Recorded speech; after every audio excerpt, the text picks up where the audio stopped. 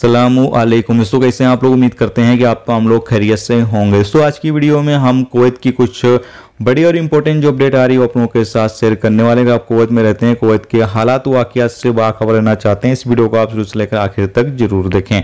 चलिए बढ़ते हैं अपडेट तरफ़। पूरी के अपडेट आप लोगों के साथ शेयर करते हैं। सबसे पहली खबर आप लोगों के साथ शेयर कर दें कि कोवैत के अधिकारियों ने सोएग बंदरगाह पर पहुँचे तीन कंटेनर के अंदर रखी गई लगभग अट्ठारह हज़ार शराब की बोतलों की तस्करी करने की कोशिश को नाकाम कर दिया है। अपडेट के मुताबिक बताया गया है कि यह कार्रवाई करके छह लोगों को गिरफ़्तार किया गया है। उनके खिलाफ जो भी कानूनी कार्रवाई है, वो की जाएगी। जैसे कि आप सामने स्क्रीन पर जो वीडियो क्लिप है, वो देख सकते हैं कि अठारह हज़ार शराब की बोतलें जो हैं, वो जब्त की गई हैं।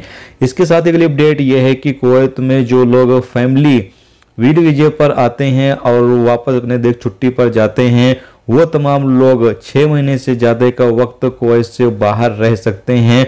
उन लोगों के लिए अभी किस तरह की कोई भी पाबंदी नहीं लगाई गई है। याद रहे कि ये कानून कोरोना वायरस को लेकर लागू किया गया था, लेकिन अभी फ़िलहाल ये कानून जो है वो लागू है और जो डोमेस्टिक वर्कर हैं, वो छः महीने से ज़्यादा कोई से बाहर नहीं रह सकते हैं। अगर छः महीने से ज़्यादा डोमेस्टिक वर्कर कोई से बाहर रहते हैं तो उनका जो वीज़ा है, इकामा है, वो कैंसिल कर दिया जाएगा। जबकि जो फैमिली वीज़ा वाले होंगे, वो कोई से बाहर छः महीने से ज़्यादा अभी फ़िलहाल रह सकते हैं।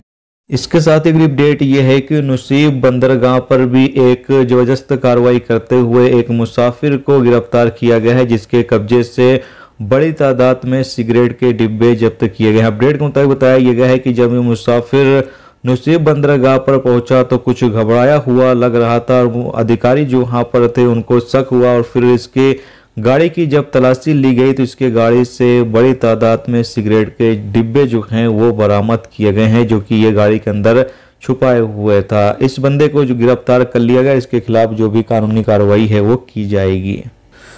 इसके साथ इसको अपडेट ये है कि कोयल मिनिस्ट्री ऑफ़ कॉमर्स की तरफ़ से अपडेट जारी करके बताया गया है कि 1 अक्टूबर 2022 से 21 मई 2023 तक कोयत से जो अंडे एक्सपोर्ट किए जाते हैं, उसके ऊपर पाबंदी जो है वो लगा दी गई यानी कि जो ताज़े और फ्रेश अंडे कोयत से एक्सपोर्ट किए जाते हैं, उसके ऊपर फ़िलहाल पाबंदी जो है वो लागू कर दी गई है। एक अक्टूबर से 21 मई 2023 तक की ये पाबंदी जो है वो लागू कर दी गई है।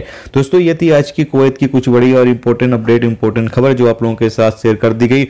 उम्मीद करता हूँ ये वीडियो, ये जानकारी आपको अच्छी लगी और अच्छी लगी तो प्लीज़ वीडियो को लाइक ज़रूर करके जाएँ और जो दोस्त चैनल पर नए हैं, उनसे रिक्वेस्ट है प्लीज़ चैनल को भी सब्सक्राइब ज़रूर कर लें। वीडियो देखने का दोस्तों बहुत बहुत शुक्रिया। मिलते हैं नेक्स्ट टॉपिक के साथ। रखिए अपना ख्याल रखिए। खुदा हाफिज़।